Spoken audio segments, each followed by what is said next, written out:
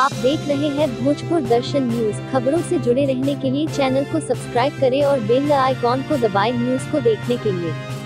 तक पश्चिम बंगाल का चुनाव का सवाल है। वहाँ चुनाव जो है निष्पक्ष ढंग से हो रही है। और ममता जी लाख चाहे जो है अपना दो रुपये का रोल कर ले इससे इससे कुछ होने वाला है नहीं। वहाँ की जनता बहुत भली भांति जान चुकी है ममता जी की जो रणनीति। एक तरफ़ कहती है कि जय श्री राम के नाम से पिटवाती है हाँ? और दूसरे तरफ़ अब देखे अब वो मंदिर मंदिर भटक रही है। इससे कुछ होने वाले यहाँ की जनता जो है जान चुकी है और जो है पश्चिम बंगाल जो है पूर्ण बहुमत से बीजेपी की सरकार बनने वाली है। इसमें कोई संदेह नहीं है। ठीक है? क्या नाम हुआ? हमारा क्या? धीरज कुमार। पद क्या है? कुमार। सामाजिक चीज़ बोल रहे कार्यकर्ता सामाजिक कर्तव्य सामाजिक कार्यकर्ता धीरज कुमार। भारत विविधताओं में एकता इसकी संस्कृति रही है। हमारे प्रधानमंत्री और हमारे गृह मंत्री ने जिस तरीके का घटिया प्रचार किया बंगाल का जो रिज़ल्ट आया है बंगाल की जनता बधाई का पात्र है। हमारा प्रधानमंत्री एक महिला सीएम को कहता है दीदी ओ दीदी हुड आउट। लेकिन बंगाल की जनता ने मोदी और गृह मंत्री अमित शाह को हुड आउट कर दिया। मैं बंगाल की जनता को तहे दिल से बधाई देता हूँ और ममता बनर्जी को भी। मैं पाँच राज्यों के चुनाव परिणाम घोषित हुए हैं उस पर आपकी क्या टिप्पणी है? देखिए पाँच राज्य में जो चुनाव का जो नतीजा आया है बीजेपी बंगाल में बुरा तरह से ध्वस्त हो गई। वहाँ के जनता दिखा दिया कि भाईचारा की जीत सांप्रदायिक और का हाथ दिखा दिया और लोगों दिखा दिया कि हिंदू मुस्लिम सिख ईसाई हम बंगाल में भाई भाई हैं कोई बीजेपी वाला कि हिंदू मुस्लिम जितना लोग नारा दिया कोई सुना नहीं या वहाँ नहीं चला।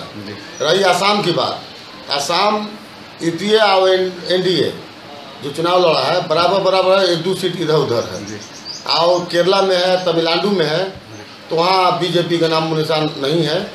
और ये जनता नकार दिया है एक हिसाब से। इसलिए कि अब देश के प्रधानमंत्री देश के गृह मंत्री देश के रक्षा मंत्री देश के मंत्री बीजेपी एनडीए के जितने मंत्री हैं जितने सांसद हैं बीजेपी के पूरा बंगाल में।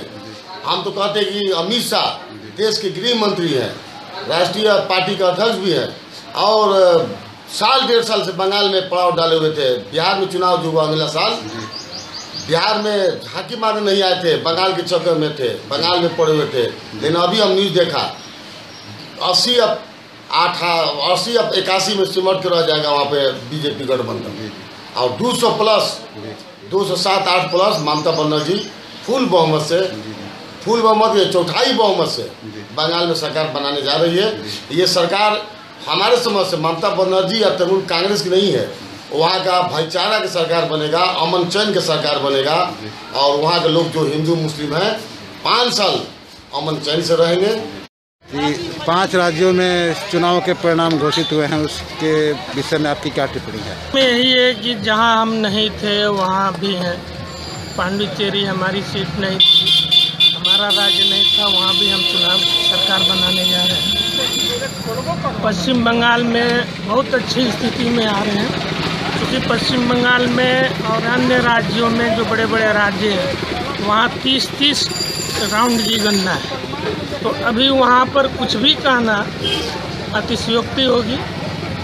इसका रिज़ल्ट फाइनल शाम सात बजे तक ही हमारे जैसे लोग कुछ कह पाएँगे कि ढंग का क्या होता है। उसे हमारा अनुमान है कि हम 120-25 सीट तक पश्चिम बंगाल में पहुँच जाएँगे। असम तो हमारा था ही असम तो हमारा आ ही गया।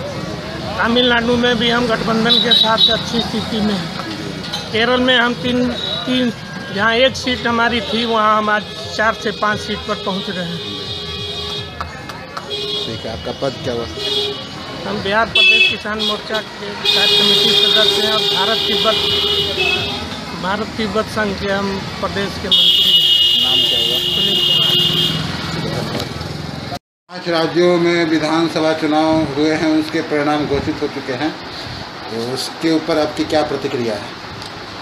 जहाँ तक अभी परिणाम की बात है अभी परिणाम फाइनल नहीं हुआ है। आज शाम तक रिज़ल्ट है फाइनल हो जाएगा। लेकिन अभी ताज़ा खबर जो है बंगाल का अभी भाजपा का जो बहुमत है टीएमसी के तुलना में बराबर की है। कुछ सीटें जो है अभी टीएमसी नहीं प्राप्त की है जहाँ भाजपा की बढ़त हो रही है। और जहाँ भाजपा की बढ़त रही है वहाँ टीएमसी की। तो मिला जुला कर जो है भाजपा का जो बहुमत है अच्छा है बढ़त में है। सरकार बने ना बने वो अलग चीज़ है। और असम में तो अपनी भाजपा की सरकार बनी है। और राज्य पांडुचेरी केरल में भी अपनी भाजपा की जो सीट है अच्छा है। जहाँ नहीं है वहाँ कुछ है। और अभी शाम तक जो है इसका वो फाइनल रिपोर्ट जो आने वाला है उसको देखें। हम लोग इंतज़ार करें। जनता का जनादेश मिला है अच्छा है। ये लोकतंत्र है सभी का इसमें अपना बहुमत का अधिकार है। क्या जनादेश मिला है नरेंद्र मोदी का नरेंद्र मोदी का रुतबा कायम है? हाँ हाँ बिल्कुल। आने वाले अगले वर्ष में भी भाजपा का ही से केंद्र में सरकार बनेगा। में एक राज्य में असम राज्य में बीजेपी की सरकार उत्तर बढ़ती दिख रही है। लेकिन चार राज्यों में जनता का जो जनादेश होगा उसको हम लोग स्वीकार करेंगे। लेकिन बंगाल की जनता ये मुझे आशा और विश्वास नहीं थी।